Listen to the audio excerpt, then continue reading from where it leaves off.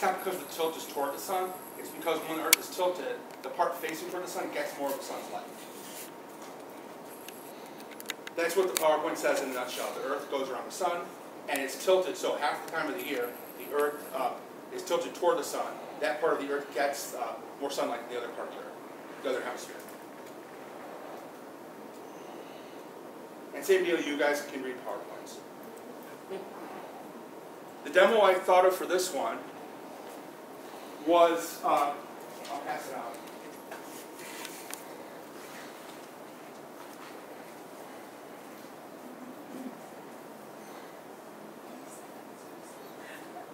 Okay, in my real classroom, I swear I have a lot better organizational skills.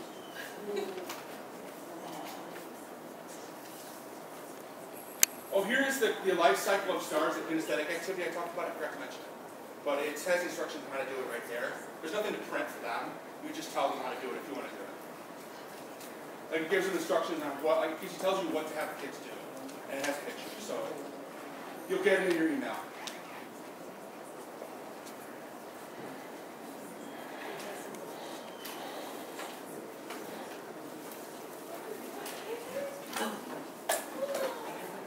Excuse me, we're. Pass down the light, the light fitting. Spectroscopes. I suppose we should- She still got stuff. I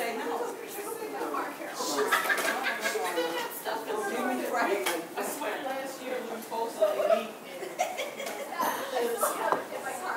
Okay, uh, the activities is right here. It's called Understanding the Seasons.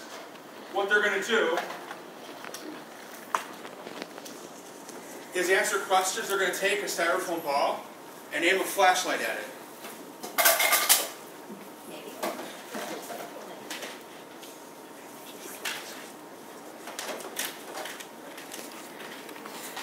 So I told them to take the top and the bottom and mark it with a circle at the top with a marker. And so they're going to simulate how the Earth is not actually flat, how it's curved a little. Okay? How it's and then they're going to take a flashlight. It's curved 23.5 degrees, about 25 degrees they can use, so about a half, an eighth of a turn. So when they take a flashlight, they can see what parts of the Earth get more sunlight. And so as you can see here, when the northern hemisphere is tilted toward the Earth, it gets a lot more sunlight. When the Earth rotates around, now the southern hemisphere gets more sunlight. Does that make sense?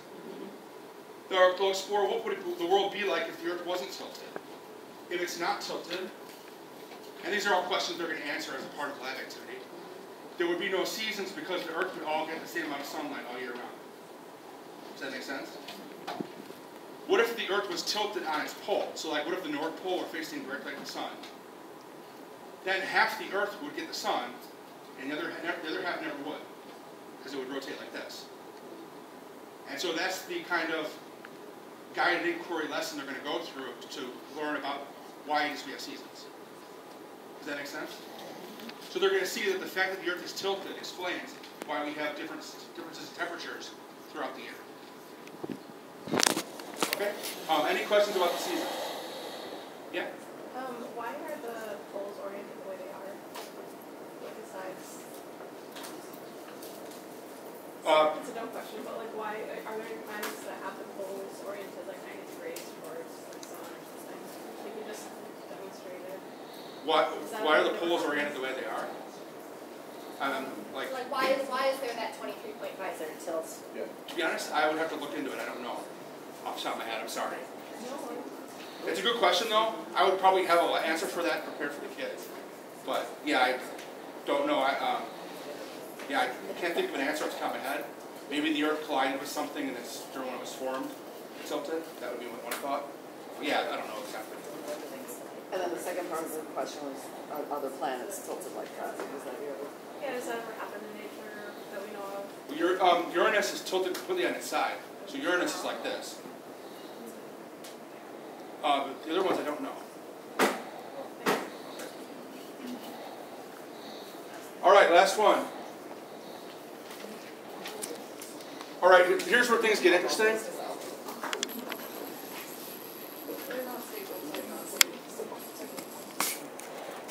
Hopefully this works. I'm going to put my laptop on and this could also be the most controversial of them, if, if, if, it happens that way. Because there are some people that would reject like the Big Bang Theory and the age of the universe. So it's just something I put in the PowerPoint, like you don't have to believe this, but this is what's being presented as the current scientific model. Trying to be sensitive to the issues that might happen. Okay, oh, perfect.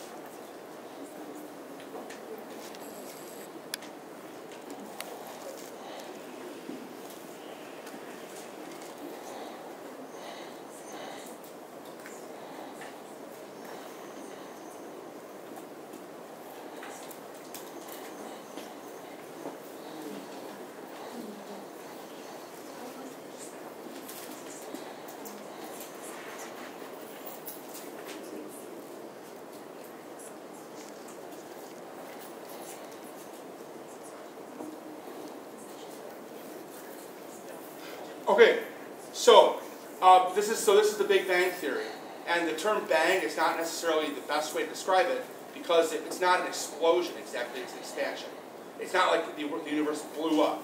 The universe suddenly expanded uh, very quickly in a short amount of time. And so there's the whole uh, reason behind it why there's red shifting. So red shifting means that waves become bunched up together as, as an object is moving toward a source. So kind of like when the police are following you, as they get closer and closer, the sound gets louder and louder. And I talk about how light's a wave, how there's a redshift. So objects that are moving away from us, the wavelengths get spread out and the color becomes more red. That's all you really have to know. It's, it can get more mathematical than that. The idea is that it's moving, objects are moving away from us. So it leads us to Hubble's law, this idea that the universe is expanding. Uh, talk about cosmic background radiation, and then I give a history of the universe. Okay, and, and you guys can read PowerPoint. So the uh, the demo with this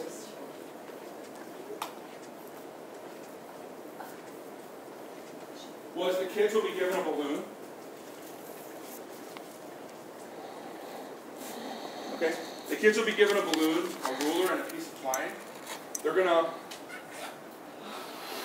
blow up the balloon a little bit, and then mark points on here with a marker. Okay, and measure the distance between the points, between the home point and the other points. It's, it's described in the, in the live instructions. All right, then they're going to blow it up a little bit more and measure the points again. And then blow it up a little bit more and measure the points again. And they'll find that objects that are farther away from the home point move faster than objects that are closer. And that's what Hubble was proposing, that the universe is expanding. This lesson might run short, I- let's give you a heads up. Would you guys want another PowerPoint about like extraterrestrial life, and you guys can have a debate? Yes. If if that happens, okay. Yeah. I'll I'll make sure I'll write that up too, and just in case you have it, just like so you have something else.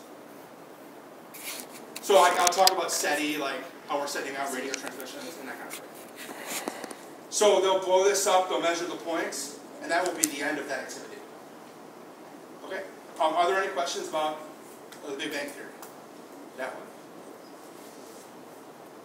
Okay? Any other questions about this module? And then, I was wondering, uh, I'm asking, uh, on the moon one, is it possible you give us some extra material on how the moon affects the tides and stuff like that, in case we run short? Sure. Yeah. Yeah, I can do that. I'll add, I'll add. That, because that way we can really, you know, yeah, we're talking about stuff in space, but this stuff has effect on you and on the planet. You know, Okay. uh, Including the seasons, you know, but. Right, Yeah. sure. Yeah, I'll add information about the tides. That won't be a problem. Okay. Um, any other questions? Or, I wanted to add that we will be going on two field trips. One will be the Adler Planetarium that Jason mentioned, and the second one will be uh, Northwestern University. They have an astrophysics department there, and they're gonna host us for some activities and um, talk about the profession. We are expecting a special guest. He's a PhD astrophysics. He's either gonna show up at the Adler or at Northwestern. We're still working things out, and he may do like a twenty-minute lecture. So, for example, if it happens to be at Northwestern where he's available, we may be with Northwestern for like ten to ten till eleven thirty, and then he may do like a twenty minute lecture from eleven thirty until maybe, um, eleven fifty or whatever, we'll dismiss at twelve. There's no requirement for a bag lunch on these field trips, we'll have them home for lunch with their mom and dad. Okay, and also for those that are new, the first day, if you decide to volunteer, we do like a fifteen to twenty minute orientation with mom where the students are informed about like the rules of the road and things like that, pick up and sign in, sign out. And, uh, we also go over like a student and parent handbook. And, um, class on the first day is usually from ten thirty to twelve. And then each day after, if it's a lab, from ten to twelve.